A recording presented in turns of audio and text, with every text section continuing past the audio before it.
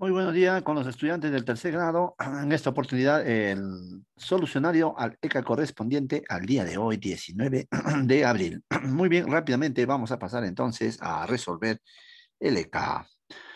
Eh, en este caso es con una resta. Aquí vamos a restar 21 menos 13, obteniendo de respuesta 8. Y entonces aquí la respuesta X es igual a 8. Seguidamente, aquí también restamos 24 menos 17, obteniendo 7.